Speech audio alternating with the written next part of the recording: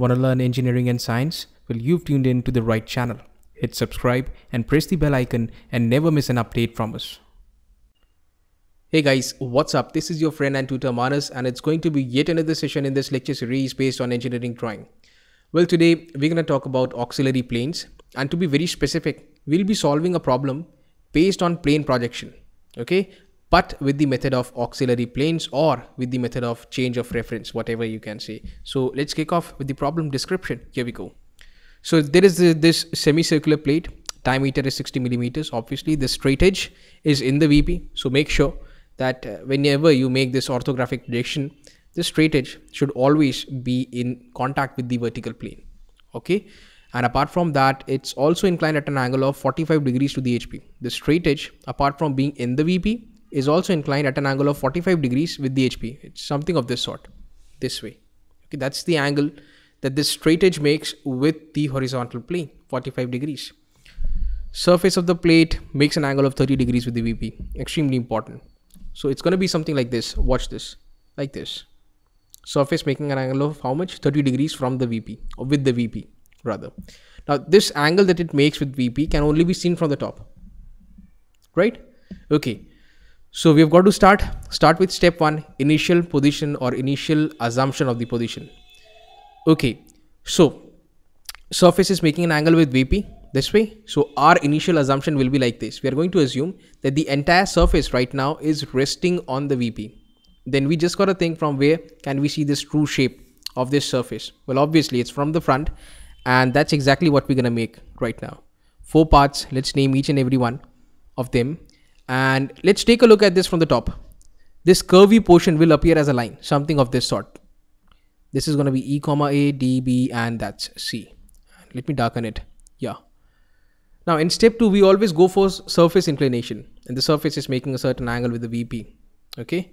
Now here we are using auxiliary plane method. Earlier, what we used to do was we recreated this top view, okay, at an angle of 30 degrees we recreated it over here again at an angle of 30 degrees and then we sort of worked out the front view okay? Squeezed up uh, semicircle you can see here instead of rotating or changing the position of this top view what we'll do is we'll fix a plane over here an auxiliary vertical plane this way okay? Which is going to pass through this ea because ea is always uh, supposed to be in contact with the vertical plane that's why. And we're gonna keep this plane at an angle of 30 degrees and the remaining steps are going to be very easy. You need to draw lines from these three points such a way that they intersect this x1 y1 at an angle of 90 degrees this way. So what essentially we are creating is a front view over here and this is what I call the auxiliary front view. Now in order to create this new front view, this old front view has to be taken as the reference. So you need to take arcs of all these points with respect to xy and need to you need to put them up over here with respect to x1 y1 very simple so keep one leg of your compass here, other leg at A dash with that much amount as the radii and with this as the center, okay, this x1, y1 here as the center, you're going to make this arc and that's precisely point A dash. That's it. Simple.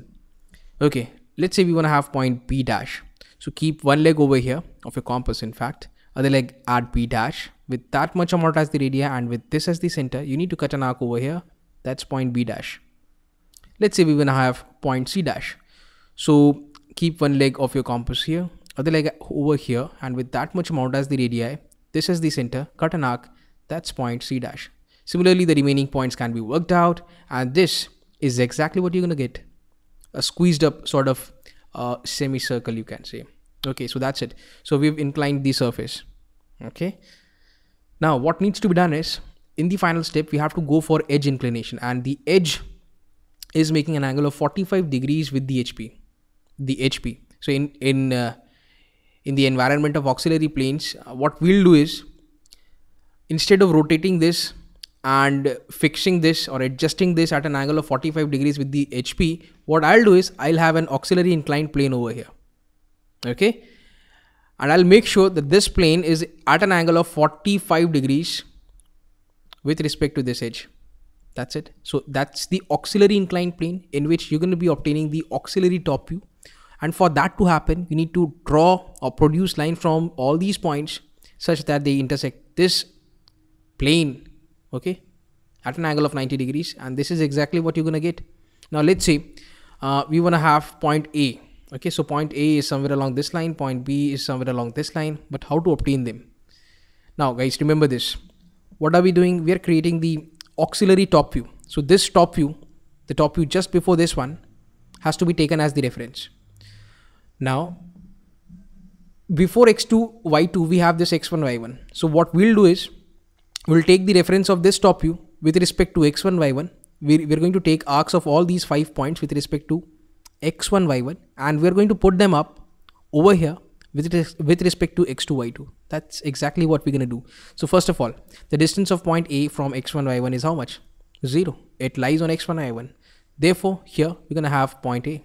It's that simple. The distance of point B from x1, y1 is this much. So keep one leg of your compass here, other leg over here, and with this as the center, cut an arc. That's point B. Now let's say we want to have point C. So keep one leg over here, other leg over here, and with this as the center, cut an arc, and that's precisely the location of point C. What about D? You need to take this as the radius keep one leg over here other leg over here and with Um, where the hell is d? Yeah here it is. With this as the center cut an arc. That's point d. And as far as e is concerned the distance is obviously zero since it entirely lies on x1 y1 therefore point e will be somewhere here. And when you join all of them this is exactly what you're gonna get. That's the final top view. Okay? Now i would strongly suggest all of you to check out this link over here wherein I solved the same problem with the help of change of position method. Okay. And remember this guys, whenever you speak of an auxiliary inclined plane, that's where you're going to have the auxiliary top view. When you speak of an auxiliary vertical plane, um, you always get an auxiliary front view. Here, the surface was supposed to be inclined with the vertical plane. So in the environment of auxiliary planes, we did not change the position of this. Okay, rather we fixed an auxiliary vertical plane over here, which apparently looks like a line from the top. Okay, so that's it. That's exactly what we've done. And that's the final top view. So guys, that was all from my side for today. If you've got any doubt or query, do write them down in the comment section below. I'll be very happy to answer them.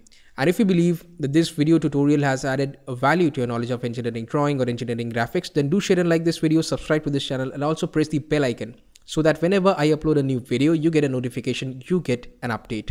And don't forget to let your friends know about this channel so that they can also benefit. Anyways, I'm going to be back with more such videos on drawing and mechanics. Until then, it's a wrap. This is Manas Patnaik signing off. Take care. Have a great day. Keep learning. Keep drawing.